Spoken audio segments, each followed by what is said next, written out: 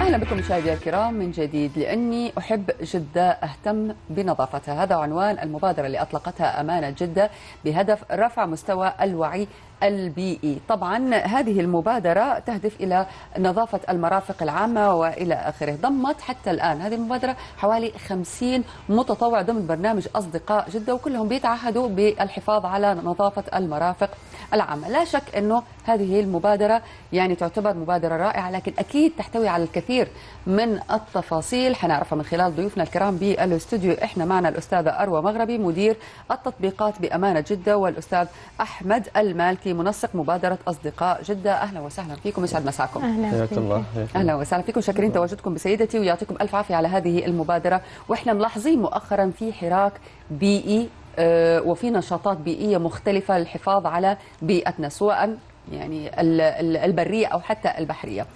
آه، يعني أكيد حتوجه السؤال الأول طبعا للأستاذة أروى ladies first فبداية سؤالي آه، يعني أعطيني فكرة عن هذه المبادرة هل هو هدفها آه، يعني بيئي بحت أم هناك أهداف أخرى؟ آه هي المبادرة بدأت آه مبادرة لأني أحب جدة. بدأناها إحنا على هاشتاج صورة هاشتاج لأني أحب جدة هاشتاج أهتم بنظافتها. وأول مكان نفذناه فيه كان الكورنيش. فبدأنا بالممارسات الخاطئة على الكورنيش. طبعا هي عبارة عن حتكون سلسلة من المبادرات ورا بعضها. كلها ب- مهشتقة بهاشتاج لأني أحب جدة.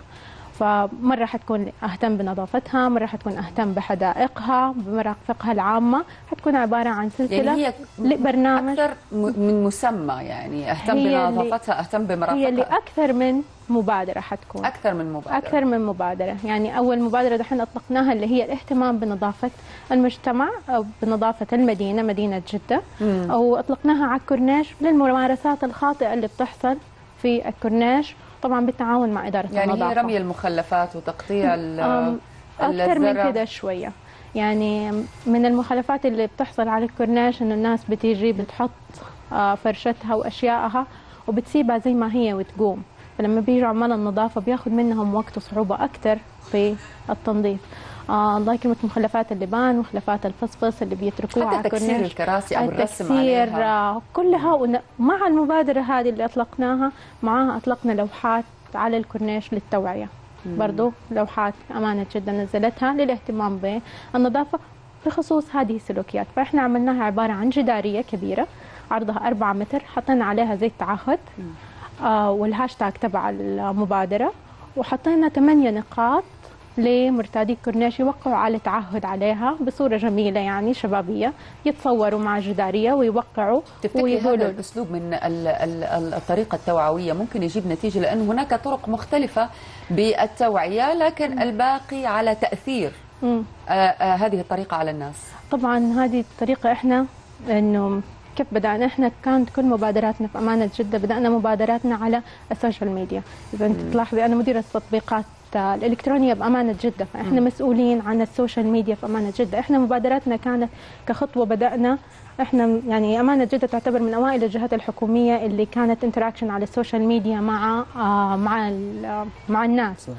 ف فكنا بنشوف آراء الناس وإيش هم يبغوا وبنعطيهم. فكان لازم كخطوة إنه وصلنا إحنا نعمل campaigns إلكترونية فال campaigns الإلكترونية هذه كتوعية لازم تفعليها على أرض الواقع كمان عشان تكسبي عظيم. الجمهور ومحبة يعني وإنه تفاعل الناس اللي مو موجودين من جدة من زوار وساكنين ومحبين.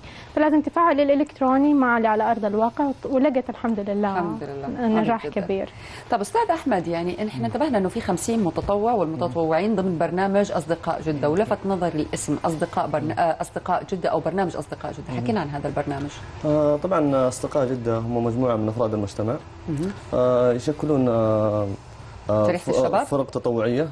آه، لتحقيق أهداف آه، أمانة محافظة جدة لل- للتنمية وتطوير محافظة آه، الأما- تطوير آه، شو اسمه؟ محافظة جدة.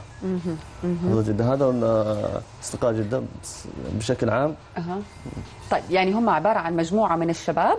هي مجموعة من الشباب. أها. يشاركون في آه، فرق تطوعية. فرق أيوة. تطوعية مبادرات آه، من أمانة جدة. تمام تمام.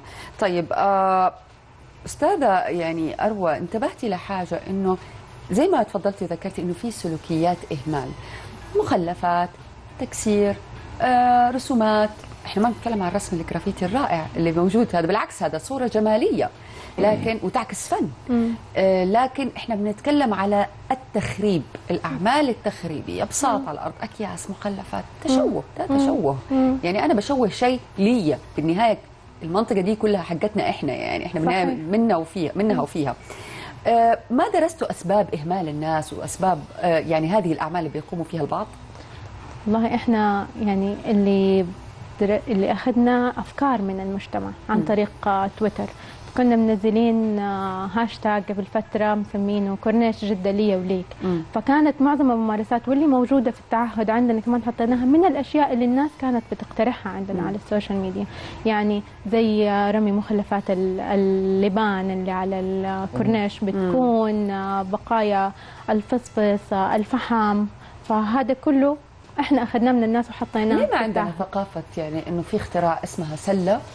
وبنرمي في داخلها. ما أنا أحس إنه بنكسر؟ الثقافة هذه لازم آه، تكون من من داخل الأسرة نفسها. امم تتنمى من داخل الأسرة كأم وأب. نعلم أطفالنا إنه زي ما في البيت زي من برا. وإذا إحنا بدأناها بالأطفال وكملنا حنقدر.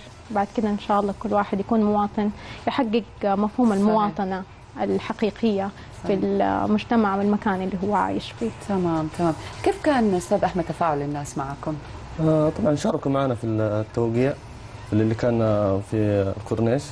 وجمعنا 10000 آه، توقيع. جمعتوا 10000 توقيع؟ صحيح. أوكي. كان أربع أيام في الكورنيش الأوسط ويومين طبعا كان في الكورنيش الجنوبي.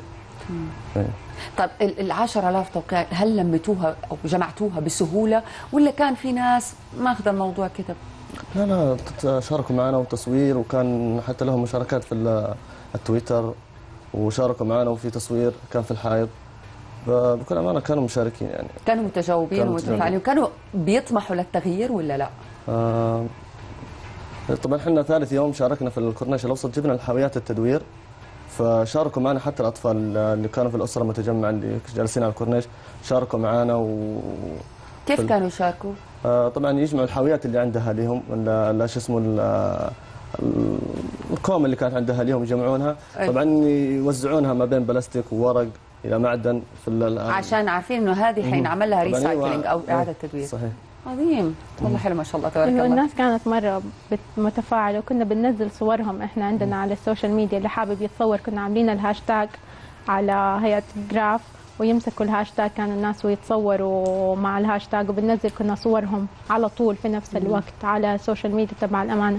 طبعا إحنا لاحظنا التفاعل الكبير جدا اللي كان على هاشتاج المبادرة وعلى الهاشتاجات كلها اللي منزلينها تبع المبادرة لاني أحب جده اهتم بنظافتها وكورنيش جدريه وليك فكان في تفاعل جدا كبير من هنا شفنا كمان غير اللي كانوا موجودين أصلا على أنا حبيت المسمى على فكرة لأني أحب جدة.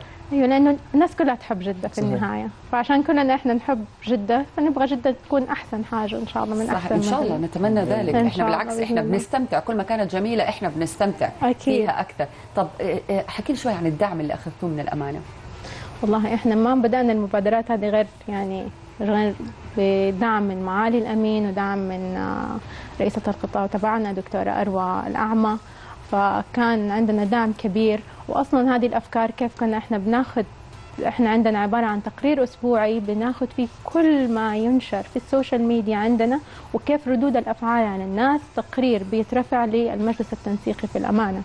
إنه ردود أفعال الناس مع الأشياء اللي بتعملها الأمانة واللي بنعملها على السوشيال ميديا وأكثر شيء يشتكوا منه الناس وأكثر شيء يفضلوه. الناس في مدينة جدة وبيترفع ومنها بتنزل المبادرات. تمام تمام.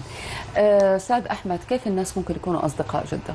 ممكن يسجلوا عن طريق آه، موقع آه، آه، أصدقاء جدة آه، ساكن جدة في اختيار اللي هو أصدقاء جدة. آه، ممكن تشاركنا المهندس آه،. في أوكي. آه ممكن الناس تشارك عن طريق موقع أمانة جدة. موقع أمانة جدة فيه جوته أصدقاء جدة. أصدقاء جدة عبارة عن آه، موقع بينعرض فيه نموذج للتسجيل. كل صديق بيجي بيسجل معلومات معينة مطلوبة في هذا النموذج وبياخذ رقم تطوعي. أصدقاء جدة اللي بيسجلوا معنا عبر الموقع بناخذهم إحنا في دورات تدريبية. عن التطوع ومفهوم التطوع وما هو التطوع. وبعد كده كل مبادرة بننزلها بنفتح فيها تسجيل وبيترسل دعوات. فإحنا كل حكاية أصدقاء جدة هذه بنشغلها إلكترونيا عن طريق موقع الأمانة وال social media. صحيح, صحيح. فبيسجلوا عن طريق النموذج وبنتواصل معهم إلكترونيا. حتى الشهادة بالساعات التطوعية بتتحسب لهم الكترونيا وبيقدروا يطبعوا شهادتهم في أي وقت عن طريق موقع أمانة جدة. بالضبط. إحنا نتمنى من الجميع بكل أفراد المجتمع وبكل مؤسسات المجتمع يكونوا أصدقاء لجدة. أكيد. ويعني آه آه يعني إذا إذا حطينا يدنا كلنا بيد بعض وقررنا إنه إحنا نعمل بيئة نظيفة نعيش فيها بسلام و آه يعني بأجواء نظيفة وبيئة سليمة إحنا ممكن نعمل ده الشيء. مو غلط؟ وأكيد. وإحنا فاتحين المجال للأفراد كمتطوعين وللمجموعات واللي أكيد. عنده فكرة مبادرة برضه عن طريق الموقع أو عن طريق السوشيال ميديا الخاصة بالأمانة يقدر يتواصل معنا ويرسل لنا فكرة المبادرة وإحنا بنشوف المبادرة وندرسها داخليا مع إدارات الأمانة وكذا وبعد كده بت يعني بتنزل على أرض الواقع. أستاذة أروى أستاذ أحمد شكرا لتواجدكم بسيدتي كل التوفيق لكم. شكرا, شكرا لك. شكرا لكم. إذا مشاهدينا الكرام بعد هذه الفقرة ما زالت فقرات من سيدتي مستمرة لكن بعد هذا الفاصل القصير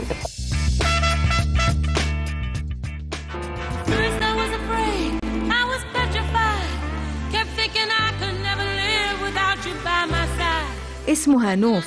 التقت أمها بعد عشرين سنة من الفراق. اسمها شمس خدعها شاب متهور وأنقذها رجل صالح. اسمها ندى أو وفاء.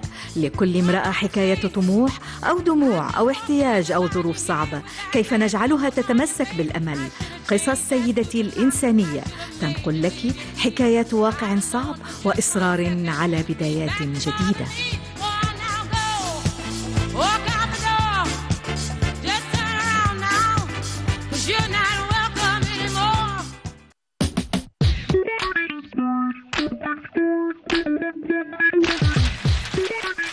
في سيدتي بعد الفاصل. كيف تحولين المكياج النهاري إلى مسائي في ثلاث خطوات سريعة؟